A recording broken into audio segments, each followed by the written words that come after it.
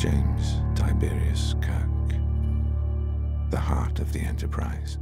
The overly confident leader, fueled by bravado.